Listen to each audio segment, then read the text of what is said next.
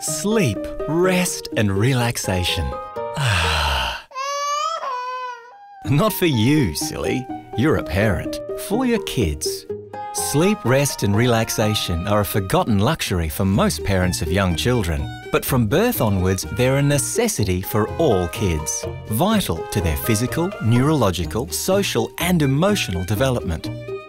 This video helps families and carers understand why and demonstrates best practices on how to meet your child's individual sleep needs. We've just finished a comprehensive early years sleep study conducted by the Department of Education and Training and Queensland University of Technology. Sleep is critical for their physical and their emotional well-being. Oh, I think it's really important for their brain development. If They don't have good sleep, they will be cranky whole day. Sleep is vital for children's learning, development and behaviour. At a time of rapid transition, it provides an important opportunity for young minds and bodies to recuperate.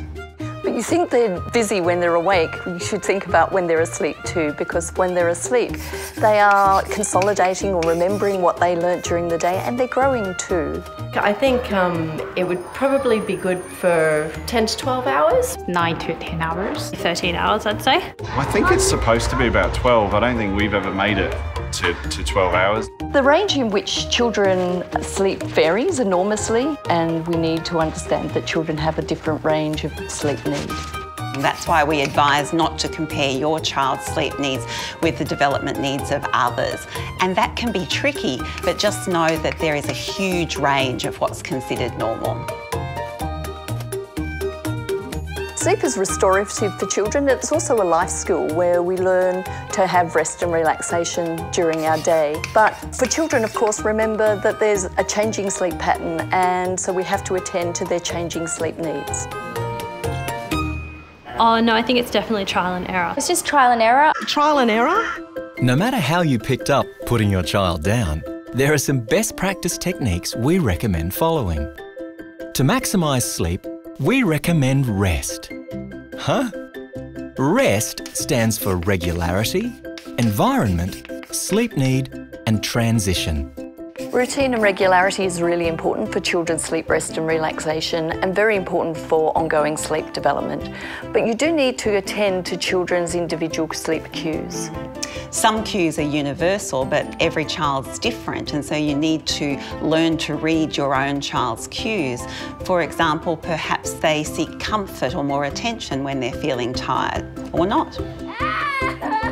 Environments are important too, and what is preferable is that we have cool, calm, quiet, and darkened environments. This isn't always possible, but it's preferable. It's important to support your child's learning and choices about sleep also. Older children may benefit from being involved in decisions about their sleep. Seizing the sleep moment is really important and it's important to have those transitions that signal in the routine that it's time for sleep. Timing is critical. Yeah, we've developed our own little routine, storybook reading, uh, dimming the lights. Do the bath routine, we brush his teeth. Just tell them a bedtime story, they'll go to sleep. if it's a daytime sleep, it would be a book, or two, or three. Particularly for younger children, we need to attend to safety. Make sure that bedding, clothing and the external environment comply with the SIDS guidelines.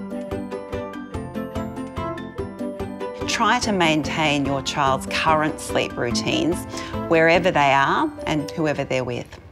Today's modern lifestyle means many families rely on multiple carers across their week.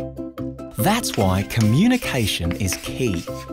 Regular two-way communication between you and the other people caring for your child are important to maintain that routine that you've worked so hard to establish. Regularity of sleep patterns are important, but remember, patterns are changing quickly at this time, so ongoing communication with the carers is critical.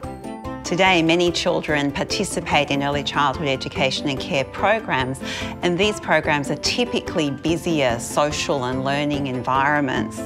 Your professionally trained educator also needs to adhere to national standards and quality practices. So sometimes this can mean that practices at the service are different to those at home. To help families and educators work in partnership, we've put together another short video. It identifies communication strategies to achieve continuity and maximise your child's sleep needs. We hope this video hasn't made you nod off, but we hope it helps your child to.